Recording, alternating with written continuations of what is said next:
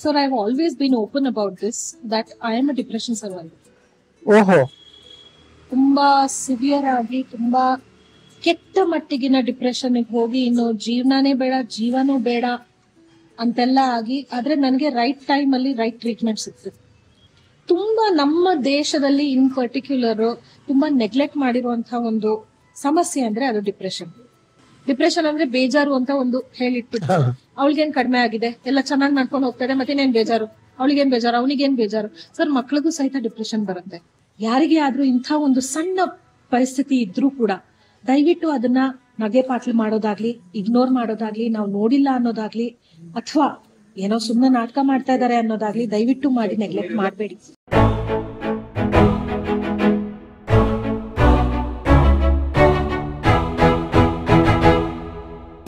ನೂರೊಂದು ನೂರೊಂದು ನೆನಪು.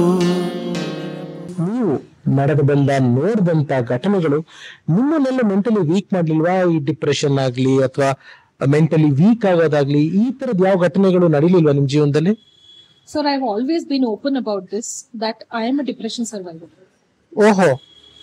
ತುಂಬಾ ಸಿವಿಯರ್ ಆಗಿ ತುಂಬಾ ಕೆಟ್ಟ ಮಟ್ಟಿಗಿನ ಡಿಪ್ರೆಷನ್ ಹೋಗಿ ಇನ್ನು ಜೀವನನೇ ಬೇಡ ಜೀವನೂ ಬೇಡ. ಅಂತೆಲ್ಲ ಆಗಿ, ಆದ್ರೆ ನನಗೆ ರೈಟ್ ಟೈಮ್ ಅಲ್ಲಿ ರೈಟ್ ಟ್ರೀಟ್ಮೆಂಟ್ ಸಿಕ್ತು. ಆದ ಕಾರಣ ನಾನಿವತ್ತು ಏನೇ ಬರ್ಲಿ ನಾನು ಮುಂದೆ, ಮುನ್ನುಗ್ಕೊಂಡು ಹೋಗ್ತೀನಿ ಅಂತ ಹೇಳಿ. ಅಂಡ್ ಅಗೇನ್ ನನ್ನ ನನಗೆ ಸ್ಫೂರ್ತಿ ತುಂಬುವಂಥವ್ರು, ನನಗೆ ಚೇತನ ತುಂಬುವಂಥವ್ರು, ನನಗೆ ಕರೆಕ್ಟ್ ಟೈಮಲ್ಲಿ ಕರೆಕ್ಟ್ ಟ್ರೀಟ್ಮೆಂಟ್ ಕೊಡಿಸ್ಕೊಂಥವ್ರು ನನ್ನ ಅಮ್ಮ. ಅವ್ರು ನೋಡ್ಬಿಟ್ಟಿದ್ದಾರೆ ಶಿ ಸೀನ್ ಇಟ್ ಆಲ್ ನಾನು ಹೇಳ್ತೀನಿ, ಅಂದ್ರೆ ಅಷ್ಟು ವರ್ಷಗಳ ಕಾಲ ನಾನು ಹೇಳ್ದಲ್ಲ ನನ್ನ ಚೈಲ್ಡ್ಹುಡ್ ಅಲ್ಲಿ ಯಾವ ತರ ಇರ್ತಾ ಇದ್ದೆ, ಎಲ್ಲಾನು ನುಂಗ್ಕೊಂಡು ನಾನು ಸ್ಮೈಲಿಂಗ್ ಫೇಸೇ ಇಟ್ಕೊಂಡಿರ್ತಾ ಇದ್ದೆ ಫಾರ್ ದಿಸ್ ರೀಸನ್ ಅಂತ ಹೇಳಿ. ತುಂಬಾ ನಮ್ಮ ದೇಶದಲ್ಲಿ ಇನ್ ಪರ್ಟಿಕ್ಯುಲರ್ ತುಂಬಾ ನೆಗ್ಲೆಕ್ಟ್ ಮಾಡಿರುವಂತಹ ಒಂದು ಸಮಸ್ಯೆ ಅಂದ್ರೆ ಅದು ಡಿಪ್ರೆಷನ್ ಡಿಪ್ರೆಷನ್ ಅಂದ್ರೆ ಬೇಜಾರು ಅಂತ ಒಂದು ಹೇಳಿಟ್ಬಿಟ್ಟು ಅವಳಿಗೇನ್ ಕಡಿಮೆ ಆಗಿದೆ? ಎಲ್ಲ ಚೆನ್ನಾಗಿ ನಡ್ಕೊಂಡು ಮತ್ತೆ ಮತ್ತೇನೇನ್ ಬೇಜಾರು? ಅವಳಿಗೇನ್ ಬೇಜಾರು? ಅವನಿಗೇನ್ ಬೇಜಾರು? ಸರ್ ಮಕ್ಳಿಗೂ ಸಹಿತ ಡಿಪ್ರೆಷನ್ ಬರುತ್ತೆ. ಆದ್ರೆ ಅದನ್ನ ಕರೆಕ್ಟ್ ಟೈಮ್ಗೆ ಯಾಕೆ ಹಾಗಾಗಿದೆ ಅಂತ ರೆಕಗ್ನೈಸ್ ಮಾಡೋದು. ಪೆಟ್ಸ್ ಬರುತ್ತೆ. ಪೆಟ್ಸ್ ಬರುತ್ತೆ. ಸೊ ನನಗೆ ಬಹಳ ವರ್ಷಗಳ ಕಾಲ ಮೇ ಬಿ ನನ್ನ ಒಳಗಿನ ವಿಷಯಗಳನ್ನ ತುಂಬಾ ಸಪ್ರೆಸ್ ಮಾಡಿ ಇಟ್ಕೊಂಡು ಇಟ್ಕೊಂಡು ಇಟ್ಕೊಂಡು ಒಂದೇ ಸತಿಗೆ ಅದು ನನಗೆ ಮಗು ಆದಾಗ ಆ ಪೋಸ್ಟ್ ಪಾರ್ಟಮ್ ಫೇಸ್ ಏನಿದೆ ಅದರಲ್ಲಿ ಕೂತಂತ ಡಿಪ್ರೆಷನ್ ಜೊತೆಗೆ ಇದು ಎಲ್ಲ ಸೇರ್ಕೊಂಡು ತುಂಬಾ ಕೆಟ್ಟ ಲೆವೆಲ್ಗೆ ಬ್ಲಾಸ್ಟ್ ಆಗ್ಬಿಡ್ತು. ಆ ಪ್ರೆಷರ್ ಆ ಟೆನ್ಷನ್ಗಳು ಯಾಕಂದ್ರೆ ತಾಯ್ತನ ಅಂತ ಬಂದಾಗ ನಮ್ಮ ದೇಹ ಆಗ್ಲಿ ನಮ್ಮ ಮನಸ್ಸಾಗ್ಲಿ ನಮ್ಮ ಮೆದುಳಾಗ್ಲಿ ಯಾವ್ದು ನಮ್ ಕಂಟ್ರೋಲ್ ಅಲ್ಲಿ ಇರಲ್ಲ ಹೆಣ್ಮಕ್ಳಿಗೆ ಪಾಪ ಹಾಗಮ್ಮ. ಬೇರೆನೆ ಆಗೋಗುತ್ತೆ ಅದು. ಅಂಥದ್ರಲ್ಲಿ ಸ್ವಲ್ಪ ನನಗೆ ಚಾಲೆಂಜಿಂಗ್ ಡೆಲಿವರಿ ಅದು ಇದು ಅಂತೆಲ್ಲ ಇತ್ತು. ಎಲ್ಲ ಸೇರಿಸ್ಕೊಂಡು ಅದು ಯಾವ ಟೈಮಲ್ಲಿ ಹೇಗ್ ಟ್ರಿಗರ್ ಆಯ್ತು? ನನ್ನ ಸುತ್ತ ಜನ ಇರ್ತಾ ಇದ್ರು ನನ್ನ ಕುಟುಂಬ ಜೊತೆನೇ ಇರ್ತಾ ಇದ್ದೆ ನಾನು. ಆದ್ರೂ ಹೇಗೆ ಟ್ರಿಗರ್ ಆಯ್ತು, ಏನಾಯ್ತು, ಅದೆಲ್ಲ ಗೊತ್ತಿಲ್ಲ but it triggered very bad and correct treatment ಕೊಡ್ಸಿದ್ರು. Correct ಎಲ್ಲಾ ರೀತಿಯಲ್ಲೂ ಏನೇನ್ ಪದ್ಧತಿ ಪ್ರಕಾರ ನಡ್ಕೊಂಡು ಹೋಗ್ಬೇಕೋ ಎಲ್ಲ ಆಯ್ತು. ಇವತ್ತಿಗೂ ಆಗದೆ ಇರುತ್ತಾ? ಆಗುತ್ತೆ. ಡಿಪ್ರೆಷನ್ ಇವತ್ತುವರೆಗೂ ಹೊಡೆಯುತ್ತೆ ನನಗೆ. ಹೊಡೆಯುತ್ತೆ. ಆಂಗ್ಸೈಟಿ ಹೊಡೆಯುತ್ತೆ. ಹೊಡೆಯುತ್ತೆ ಕೈಕಾಲ್ ನಡ್ಗೋ ಲೆವೆಲ್ಗೆ ಹೊಡೆಯುತ್ತೆ. ಆದ್ರೆ ಅದರಿಂದ ಹೇಗೆ ಹೊರಗ್ ಬರ್ಬೇಕು? ಹೊರಗ್ ಬರ್ಬೇಕು ಅನ್ನೋದು ನನ್ ಮನ್ಸಲ್ಲಿ ನಾನು ತಂದ್ಬಿಟ್ಟಿದೀನಿ ಅದೊಂಥರ ಆಟೋ ಪೈಲಟ್ ಮೋಡಲ್ಲಿ ಅದು. ಯಾಕೆ ಅಂತಂದ್ರೆ ನನ್ನ ಮಗುಗೋಸ್ಕರ ನಾನು ಇರ್ಲೇಬೇಕು. ನಾನ್ ಡಿಪ್ರೆಷನ್ಗೆ ತುತ್ತಾಗಕ್ ಸಾಧ್ಯ ಇಲ್ಲ. ನನ್ನ ತಂದೆಯವ್ರನ್ನ ನಾನು ನೋಡಿದೀನಿ ಅವ್ರು ನನ್ನನ್ನ ಬಿಟ್ಟು ಹೋಗಿದ್ದು ನಮ್ಮ ಇಡೀ ಜೀವನದಿಂದಾನೇ ದೂರ ಹೋಗಿದ್ದು, ಅದು ಎಷ್ಟು ಮಟ್ಟಿಗಿನ ನೋವು ನನಗೆ ಇನ್ನೂ ನಾನು ಅನುಭವಿಸ್ತಾ ಇದ್ದೀನಿ ಅನ್ನೋದನ್ನ ನಾನು ನೋಡಿದ್ದೀನಿ. ಯಾವ ತಂದೆ ಆಗ್ಲಿ, ಯಾವ ತಾಯಿ ಆಗ್ಲಿ, ಅವರ ಮಕ್ಕಳನ್ನ ಈ ಪರಿಸ್ಥಿತಿಯಲ್ಲಿ ಹಾಕ್ಬಾರ್ದು. It is a driving force for me that ನಾನು ಎಂತ ನಾನು ಕೈಕಾಲು ಮುರ್ಕೊಂಡಿದ್ದೀನಿ, ನಂದು ಆಪರೇಷನ್ಗಳು ಅದು ಇದು, ಏನೇನೇನೇನೇನೋ ಹೆಲ್ತ್ ಸಮಸ್ಯೆ depression depression but every time I have only this in mind ದೇವ್ರೆ, ನನ್ನನ್ನ ಬದುಕಿಸು. ಯಾವ ಪರಿಸ್ಥಿತಿಲಾದ್ರೂ ಇದ್ರು ನನ್ನನ್ನು ಬದುಕಿಸುವಷ್ಟು ನನ್ನ ಮಗುಗೋಸ್ಕರ ನಾನು ನೋಡ್ಕೊಂಡು ಸೊ ಡಿಪ್ರೆಷನ್ ಅನ್ನುವಂಥದ್ದು ನಾನು ತುಂಬಾ ಜನರಿಗೆ ಈವನ್ ನಮ್ಮ ನೋಡ್ತಾ ಇರುವಂತಹ ವೀಕ್ಷಕರಿಗೂ ನಾನು ಹೇಳಕ್ ಇಷ್ಟಪಡುವಂಥದ್ದು ಡಿಪ್ರೆಷನ್ ಅನ್ನೋದು ಕಾಯಿಲೆ ಅಲ್ಲ. ಅದೊಂದು ಮನಸ್ಥಿತಿ ವೀಕ್ನೆಸ್ ವೀಕ್ನೆಸ್ ಅಂತಾನೂ ನಾನು ಹೇಳಲ್ಲ ಸರ್. ಅದು ನಾವ್ ಏನೇ ಟರ್ಮ್ ಕೊಟ್ರು ಅದು ತಪ್ಪಾಗಿ ಹೋಗುತ್ತೆ. ಆದ್ರೆ ನಿಮ್ಮ ಸುತ್ತಮುತ್ತ ನಿಮ್ಮ ಕುಟುಂಬದಲ್ಲಿ ಯಾರಿಗೆ ಆದ್ರೂ ಇಂಥ ಒಂದು ಸಣ್ಣ ಪರಿಸ್ಥಿತಿ ಇದ್ರೂ ಕೂಡ ದಯವಿಟ್ಟು ಅದನ್ನ ನಗೆ ಪಾಟ್ಲು ಮಾಡೋದಾಗ್ಲಿ ಇಗ್ನೋರ್ ಮಾಡೋದಾಗ್ಲಿ ನಾವು ನೋಡಿಲ್ಲ ಅನ್ನೋದಾಗ್ಲಿ ಅಥವಾ ಏನೋ ಸುಮ್ಮನೆ ನಾಟಕ ಮಾಡ್ತಾ ಇದಾರೆ ಅನ್ನೋದಾಗ್ಲಿ ದಯವಿಟ್ಟು ಮಾಡಿ ನೆಗ್ಲೆಕ್ಟ್ ಮಾಡಬೇಡಿ. Depression is a very big issue ಈಗ ಕೋವಿಡ್ ಆದ್ಮೇಲೆ ಮತ್ತಷ್ಟು ಜನರಿಗೆ ಅದು ಅರ್ಥ ಆಗ್ತಾ ಇದೆ. ದಯವಿಟ್ಟು ನಿಮ್ಗೆ ಯಾರಾದ್ರೂ ಡಿಪ್ರೆಷನ್ ಇರೋರಿದ್ರೆ ಕರೆಕ್ಟ್ ಟೈಮ್ಗೆ ಒಂದು ಟ್ರೀಟ್ಮೆಂಟ್ ಸಲಹೆ ಕೊಟ್ಬಿಡಿ. It will save a life and coming back ಇವಾಗ ನಾವು ಮತ್ತೆ ಈ ಕಡೆ ಬರೋದಾದ್ರೆ ನಿಮ್ಮ ಸ್ವಲ್ಪ ಮಳ್ಳೆ ಮ್ಯಾಟ್ರ್ ಸೀರಿಯಸ್ ಆಯ್ತು ಅನ್ಬೇಕಾದ್ರೆ ಸ್ವಲ್ಪ ತರಲೆ ಕಡೆ ಹೋಗ್ಬೇಕು ಅನ್ನೋದಾಯ್ತು ಅಂತಂದ್ರೆ ನಿಮ್ ಲವ್ ಸ್ಟೋರಿ ತುಂಬಾ ಇಂಟ್ರೆಸ್ಟಿಂಗ್ ಆಗಿದೆ. ಅಂದ್ರೆ ಸಕ್ಕದಂದ್ರೆ ಸಿನಿಮಾ ಒಳ್ಳೆ ಸ್ಕ್ರಿಪ್ಟ್ ಆಗುತ್ತೆ ಆಕ್ಚುಲಿ ಇವ್ರ ಲವ್ ಸ್ಟೋರಿ ಸಾರ್ ಬಂದ್ಬಿಟ್ಟು ಸೂರ್ಯ ರೈಟ್ ಸೂರ್ಯ ರಾವ್. ಅವರು. ಮ್ಯಾಡಮ್ಗೆ ಸೀನಿಯರ್ ಅಂತೆ ಕಾಲೇಜಲ್ಲಿ ಅವ್ರು ಬರೋಕ್ರೆ ಸೂರ್ಯನ ಹತ್ರ ಸಿಗಾಕೊಂತೀಯ ಬಾ ನಿನ್ಗಿದೆ ಹಂಗಿದೆ ಹಿಂಗಿದೆ ಅಂತ ಹೇಳ್ಬೇಕಾದ್ರೆ ಅಲ್ಲಿ senior and junior love story ಇದನ್ನ ನಾನ್ ಜಾಸ್ತಿ ಮಾತಾಡೋದಕ್ಕಿಂತ ಮೇಡಮ್ ಹತ್ರನೇ ಕೇಳ ಹೇಳಿ ಆ ಲವ್ ಸ್ಟೋರಿ ಬಗ್ಗೆ ಹೇಳಿ. ಸೊ ಇದು Natya institute of Kathak and ಕೊರಿಯೋಗ್ರಫಿಯಲ್ಲಿ ನಡೆದಂತ ನೈಜ ಘಟನೆ. ನೈಜ ಘಟನೆ. ನಾನ್ ಕಾಲೇಜ್ ಸೇರ್ಕೊಂಡಿದ್ರು. ಹೊಸ್ತು ನನ್ಗಿನ್ನೂ ಸಣ್ಣ ಪ್ರಾಯ ಆಗ ಒಂದು ಹದಿನೇಳು ಮುಗಿತಾ ಇತ್ತು ಅಷ್ಟೇ. ಡಿಗ್ರಿ ಅವಾಗಷ್ಟೇ. ಆಗ ಏನಾಯ್ತು ಇವರು ಸೂರ್ಯ ಅಂತ ಹೇಳುವರು ನನ್ನ ಕಣ್ಣಿಗೆ ಎಲ್ಲೂ ಬಿದ್ದಿರ್ಲಿಲ್ಲ ಅಥವಾ ಅವ್ರ ಬಗ್ಗೆ ಕೇಳಿರ್ಲಿಲ್ಲ. ಸಹ- ಸಹಜವಾಗಿ ಕಾಲೇಜ್ಗೆ ಹೇಗೆ ಹೋಗಿ ಬರ್ತೀವಿ ಆದ್ರೆ ಡಾನ್ಸ್ ಕಾಲೇಜ್ ಆಗಿದ ಕಾರಣ ಸ್ವಲ್ಪ ಹೆಚ್ಚು ನಾವೆಲ್ಲ ಇಮೋಷನಲ್ ಪೀಪಲ್ ಭಾವುಕರು ಜಾಸ್ತಿ ನಾವು ಅಂತ ಹೇಳೋದಕ್ಕೆ. ಅಲ್ಲಿ ಇದ್ದ ನನ್ನ ಆಗಿನ ಸೀನಿಯರ್ಸ್ ಅಂದ್ರೆ ನನ್ನ ಫಸ್ಟ್ ಇಯರ್ ಅವ್ರದ್ದೆಲ್ಲ ಥರ್ಡ್ ಇಯರ್ಸ್ ಇರುವಾಗ ನಮ್ಮಲ್ಲಿ ಒಂದು ಪದ್ಧತಿ ಇದೆ. ನನ್ನ ಗುರುಗಳು ಮಾಡಿರುವಂಥದ್ದು ನಾವು ಕೆಲವು ಡಾನ್ಸ್ ಡ್ರಾಮಾಗಳನ್ನ ಕೊರಿಯೋಗ್ರಾಫ್ ಮಾಡಬೇಕು ಆಸ್ ಸ್ಟೂಡೆಂಟ್ಸ್ ನಮ್ಗೆ ಎಕ್ಸ್ಪೀರಿಯನ್ಸ್ ಬರೋದಕ್ಕೋಸ್ಕರ. ಅದಕ್ಕೆ ನಮ್ಮ ಸೀನಿಯರ್ ಸಹಾಯನ ತಗೊಳ್ಬೇಕು ಮತ್ತೆ ಸೂಪರ್ ಸೀನಿಯರ್ಸ್ ಯಾರಿದ್ದಾರೆ ಅವರು ಬಂದು ನಮ್ಮ ನಾಟಕಗಳಲ್ಲಿ ನಟನೆ ಮಾಡಬೇಕು ನೃತ್ಯ ಮಾಡಬೇಕು. ಅದು ರೂಲು ಇವರನ್ನ ಹೀಗೆ ಎಲ್ಲ ಕೇಳ್ತಾ ಇದ್ದೆ. ಫಸ್ಟ್ ಪ್ರಾಜೆಕ್ಟ್ ಬಂತು ಕೈಗೆ. ಆ ಕೇಳ್ಬೇಕಾದ್ರೆ ನಾನು ಸೀನಿಯರ್ಸ್ ಎಲ್ಲ ನೋಡು ನೀನ್ ಯಾರ ಹತ್ರ ಬೇಕಾದ್ರೂ ಇಟ್ಕೋ. ಸೂರ್ಯ ಅಂತ ಒಬ್ರಿದ್ದಾರೆ ಅವ್ರ ಹತ್ರ ಮಾತ್ರ ಏನು ತಂಟೆ ತಕರಾರು ಇಟ್ಕೊಳ್ಬೇಡ ಆಲ್ರೆಡಿ ಒಂದು ಬಿಲ್ಡಪ್ ರೆಡಿ ಆಗಿತ್ತು. ನಾನು ಏನ್ ಇವ್ರ ಏರಿಯಾ ಡಾನ್ ಎಂತ ಇವ್ರು ಯಾಕೆ ಇಷ್ಟೆಲ್ಲ ಹೆದರ್ತಾರೆ ಅಷ್ಟು ಹವಾ ಮೇಂಟೈನ್ ಮಾಡಿದಾರ ಇಲ್ಲಿ ಅಂತ ನನಗೆ ಫುಲ್ ಸರಿ ಅದೆಲ್ಲ ಕೇಳಿ ಸ್ವಲ್ಪ ದಿನ ಆಯ್ತು. ಒಂದ್ ದಿವ್ಸ ನಾನು ಗಾಡಿ ಹೀಗೆ ಟೂ ವೀಲರ್ ಪಾರ್ಕ್ ಮಾಡ್ತಾ ಇದ್ದೀನಿ. ಮೇಲಿಂದ ಒಂದು ದೈತ್ಯಾಕಾರ ಜೀವ.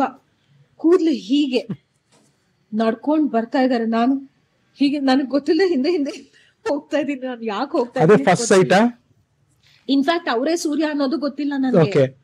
ಸೊ ಅವ್ರು ಬಂದ್ರು ನಡ್ಕೊಂಡು ಇಳ್ಕೊಂಡ್ ಬಂದ್ರು ಹೀಗೆ ಫುಲ್ ಗತ್ತಲ್ಲಿ. ಈಗ ನೋಡು. ಹೋದ್ರು.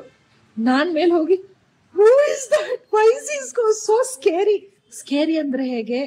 ಬಹಳ ಚಂದ ಮನುಷ್ಯ ಹ್ಯಾಂಡ್ಸಮ್ ಲೈಕ್ ಎನಿಥಿಂಗ್ ಆದ್ರೆ ಆ ಫಸ್ಟ್ ಅಪಿಯರೆನ್ಸ್ ಆ ಕೂದಲೆಲ್ಲ ಏ ಅವರೇ ಸೂರ್ಯ. ಅಂತ ಇವರೆಲ್ಲ ನನಗೆ ಹೆದರಿಸಿದ್ರು. ಮಾತಾಡ್ಸಿಲ್ಲ ಅಲ್ಲ ನೀನು ಬಂದಿಯಲ್ಲ ಸೀದಾ? ಹಾ ಬಂದೆ ಬಂದೆ ಸೀದಾ ಬಂದೆ. ಮತ್ತೆ ಒಂದು ಶೋಗ್ ಬಂತು. ನನ್ನ ನಾಟ್ಯ ಜರ್ನಿ ಅಂತ ನನ್ನ ಫಸ್ಟ್ ಪರ್ಫಾರ್ಮೆನ್ಸ್ ಸಾರೆ ಜಹಾಸೆ ಅಚ್ಚ ಅದರ ಒಂದು ಲಿರಿಕ್ಸ್ ಅನ್ನ ಇಟ್ಕೊಂಡು ಒಂದು ಬ್ಯೂಟಿಫುಲ್ ಡಾನ್ಸ್ ಡ್ರಾಮಾನ ನನ್ನ ಗುರುಗಳು ಕೊರಿಯೋಗ್ರಾಫ್ ಮಾಡಿದ್ರು. ನಾನು ಅದ್ರಲ್ಲಿ ಒಂದು ಡಾನ್ಸರ್ ನನ್ ಗ್ರಾಚಾರಕ್ ಸೂರ್ಯನು ಇದ್ರು. ಆ ಡಾನ್ಸ್ ಅಲ್ಲ? ಓ ಮೈ ಗಾಡ್ ಓಕೆ ಮೈಸೂರಿಗೆ ಹೋಗ್ಲಿಕ್ಕಿತ್ತು ನಾವು. ಬಸ್ಸಲ್ಲಿ ಹೋಗ್ತಾ ನನಗೆ ಸಂಗೀತದ ಬಗ್ಗೆ ಬಹಳ ಆಸಕ್ತಿ. ನಮ್ಮ ಕುಟುಂಬದಲ್ಲಿ ಎಲ್ಲಾರು ಸಂಗೀತಕಾರ ಎಲ್ಲರೂ ಹಾಡುಗಾರರು ಅಮ್ಮ ಎಷ್ಟು ಚೆನ್ನಾಗಿ ಹಾಡ್ತಾರೆ. ಆಯ್ತಾ? ನನಗೂ ಕ್ಲಾಸಿಕಲ್ ಟ್ರೈನಿಂಗ್ ಆಗಿದೆ. ಪ್ಲಸ್ ನಾನು ಮಂಜುಳಾ ಗುರುರಾಜ್ ಅವರ ಪ್ರೊಫೆಷನಲ್ ಟ್ರೈನಿಂಗ್ ಕೋರ್ಸ್ ಅಲ್ಲಿ ಸರ್ಟಿಫಿಕೇಶನ್ ತಗೊಂಡಿದ್ದೀನಿ. ಆಯ್ತಾ? ಸೊ ಹೀಗೆ ಬಸ್ ಅಲ್ಲಿ ಮೈಸೂರುವರೆಗೆ ಹೋಗ್ಬೇಕಾದ್ರೆ ಒಂದು ಬಹಳ ಅದ್ಭುತವಾದ ಗಾಯನ ನನ್ ಕಿವಿಗ್ ಬಿತ್ತು. ಎಂಥ ಚಂದ ಗಾಯನ ಅದು. ಇಂಪಾದ ಮೆಲೋಡಿಯಸ್ ತಿರುಗಿ ನೋಡಿದ್ರೆ ಸೂರ್ಯ ಹಾಡ್ತಾ ಇದ್ದಾರೆ ಯಾವ ಹಾಡು ಅದು? ಅವರು ನನ್ ಒಂದು ಕ್ಲಾಸಿಕಲ್ ಡಾನ್ಸ್ ಇದೆ ಗಜಾನನ ಯುತಂ ಗಣೇಶ್ವರಂ ಅನ್ನೋ ಹಾಡು. ಬಸ್ ಹೊರಡುವಾಗ ಗಣೇಶನ್ ನೆನೆಸ್ಕೊಳ್ತೀವಲ್ಲ ಅದು ಹಾಡ್ತಾ ಇದಾರೆ. ನಾನು ಎಂತ ಒಂದು ಶಾರೀರ ಇದು ಬಹಳ ಸಂತೋಷ ಪಟ್ಬಿಟ್ಟೆ ನಾನು. ಬಸ್ ಇಳಿದ್ಮೇಲೆ ನಾನು ಹೋಗಿ ಹೇಳ್ದೆ ಸರ್ ನಿಮ್ಮ ವಾಯ್ಸ್ ತುಂಬಾ ಚೆನ್ನಾಗಿದೆ ಸರ್. ನಾನಾಗಿನ್ನು ಏನು ಹದಿನೇಳು ಹದಿನೆಂಟು ವರ್ಷದವಳು. ಅಂತ ಹೇಳಿದ್ರೆ ಥ್ಯಾಂಕ್ ಯು ಅಂತ ಹೇಳ್ಬೇಕು ತಾನೆ course I am singer you know ಅಂತ ಆಟಿಟ್ಯೂಡ್ ತೋರಿಸ್ಬಿಟ್ಟು. ಅದೇ ಆ ಇದಾ ಕ್ಯಾಟಗರಿ ನಿಮ್ದು ನಾನು ಏನ್ ನಂದು ಆಟಿಟ್ಯೂಡ್ ಸೊ ಹೀಗೆ ಹೋಗ್ತಾ ಹೋಗ್ತಾ ಹೋಗ್ತಾ ಹೋಗ್ತಾ ಸ್ನೇಹ ಬೆಳೀತು. ಅವರು ನನ್ನ ಬ್ಯಾಲೇಸ್ ಅಲ್ಲಿ ಪರ್ಫಾರ್ಮ್ ಮಾಡ್ತಾ ಇದ್ರು ಅವರು ಕೆಲವು ಕಡೆ ಸ್ಟೇಜ್ ಪ್ರೋಗ್ರಾಮ್ಸ್ ಕೊಡುವಾಗ ಅದ್ಭುತವಾದ ನೃತ್ಯಗಾರ. ಸಾಕ್ಷಾತ್ ನಟರಾಜನೇ ಧರೆಗಿಳಿದು ನೃತ್ಯ ಮಾಡಿದ್ರೆ ಹೇಗಿರ್ಬೋದು ಅಂತ ನಾನು ಕಲ್ಪಿಸ್ಕೊಂಡು ಆ ಮನುಷ್ಯನ್ ನೋಡಿದೀನಿ ನಾನು. ನಾನು ನನ್ನ ಗಂಡ ಅನ್ನೋ ವಿಷಯಕ್ಕೆ ಹೇಳ್ತಾ ಇಲ್ಲ. As an artist as an artist fantastic dancer fantastic singer ಹಾಗೆ ಸ್ನೇಹ ಬೆಳೀತಾ ಹೋಯ್ತು. ನನಗೆ ಅಗೇನ್ ಆಗ್ಲೂ ತುಂಬಾ ಬೌಟ್ಸ್ ಆಫ್ ಡಿಪ್ರೆಷನ್ ಆಗ್ತಾ ಇತ್ತು. ಯಾವ್ದೋ ಕಾರಣಕ್ಕೆ ಯಾವ್ದ್ಯಾವ್ದೋ ಕಾರಣಕ್ಕೆ. ಯಾಕೆ ಅಂತ ಗೊತ್ತಾಗ್ತಾ ಇರ್ಲಿಲ್ಲ. ಆದ್ರೆ ಆ ನನ್ನ ಸ್ಟೂಡೆಂಟ್ ಹುಡ್ ಅಲ್ಲೇನೆ ನನ್ನ ಪಕ್ಕದಲ್ಲಿ ನಿಂತು ಪ್ರತಿ ಸಲಿ ನೀನ್ ಬೀಳ್ಬಾರ್ದು don't fall into the hole don't fall into the hole ಅಂತ ನನ್ನ ಎಳೆದು ಹೊರಗೆ ತಂದಂತವ್ರು. ಸೊ ಇನ್ನೊಬ್ಬ ಹೀರೋ ಲೈಫ್ ಅಲ್ಲಿ after father he started becoming a little more warm towards me ಮತ್ತೆ ಹೀಗೆ ಮಾತಾಡುವಾಗ ಗೊತ್ತಾಯ್ತು, ಅವರು ದಕ್ಷಿಣ ಕನ್ನಡದವರೇ. ಅವರು ಮತ್ತೆ ಎಲ್ಲ ಈ ಫ್ಯಾಮಿಲಿಯಲ್ಲಿ ಇರುತ್ತಲ್ಲ, ಸ್ವಲ್ಪ ವಿಷಯಗಳು ಕಾಸ್ಟ್ ಅದು ಇದು ಅಂತೆಲ್ಲ, ಅದೆಲ್ಲ ಏನ್ ಸಮಸ್ಯೆ ಇರ್ಲಿಲ್ಲ. ಆಲ್ ವಾಸ್ ಓಕೆ ಒಬ್ರನ್ನೊಬ್ರು ಇಷ್ಟಪಡಕ್ ಶುರು ಮಾಡಿ ಈಗಿನ ಟರ್ಮ್ಸ್ ಅಲ್ಲಿ ಹೇಳ್ಬೇಕು ಅಂದ್ರೆ dating we started dating but ನಮಗೆ ನಮ್ಮ ತಲೆಯಲ್ಲಿ ನಾವು ಕಮಿಟ್ ಆಗ್ಬಿಟ್ಟಿದ್ವಿ. ಇದು ನಾವು for a life lifetime ಈ ಜರ್ನಿ ಹೋಗುತ್ತೆ. ಮತ್ತೆ ನಾವು ಸ್ವಲ್ಪ ಡಾನ್ಸರ್ಸ್ ಹೇಗೆ ಅಂದ್ರೆ ಮೈಥಾಲಜಿ ಹುಚ್ಚರು ಎಪಿಕ್ ಹುಚ್ಚರು. ಸೊ ನಾವು ಒಂಥರ ನಮ್ದು ಗಾಂಧರ್ವ ವಿವಾಹ ಆಗೋಗಿದೆ ಅಂತ ಈಗೆಲ್ಲ ನಾಟಕೀಯವಾಗಿ ಮಾತಾಡ್ಕೊಳ್ತಾ ಇದ್ವಿ.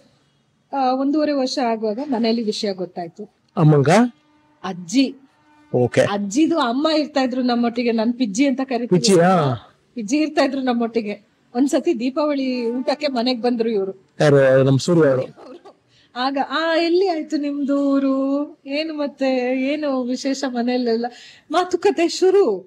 And I like ha okay this is going somewhere ಅಂತ ಹೇಳಿ ಮತ್ತೆ ಅಜ್ಜಿ ಬಂದು ಮಾತಾಡಿದ್ರು. ಸಣ್ಣ ವಯಸ್ಸಲ್ಲಿ ಮದ್ವೆ ಆದ್ರೆ ಚಂದ.